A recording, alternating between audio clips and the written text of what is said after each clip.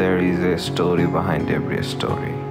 We, the people, we live, we love, we love, but we just can't always find the right story that we're looking for.